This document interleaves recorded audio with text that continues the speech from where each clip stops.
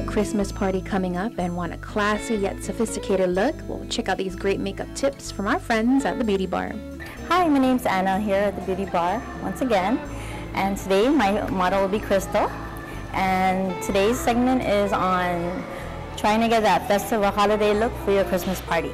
Annabelle started out by prepping Crystal's face with Kokendo's yellow and green base, which help with dark circles and redness of the skin, and foundation and primer courtesy of Youngblood, a popular mineral cosmetic line. We're going to use the Youngblood eyebrow palette that we have here.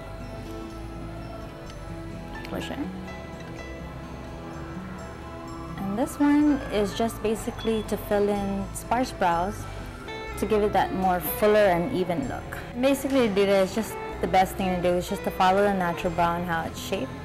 Because it's more on the festive part of the year, we normally go for the more shimmery and uh, the look that we're trying to achieve is something that will stand out. Start always with your base. Lighter colors as usual. And in that we're using the pigment pots from the, the Balm. Some of our shadows come in the palette and some of them are loose. Next, Annabelle applied eyeliner and mascara for a more dramatic effect. And speaking of dramatic, lashes are definitely a must for making eyes pop. The next thing we're going to use is the Salon Perfect Individual Lash.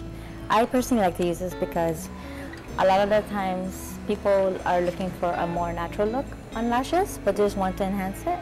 Start off first with the small sizes first. Just so we fill in the sparse area of her lashes.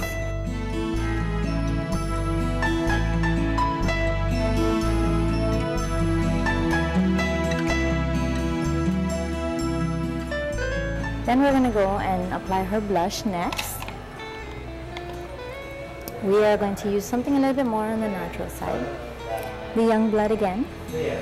Mineral blush. And to finish off the look, Youngblood mineral lipstick in this color.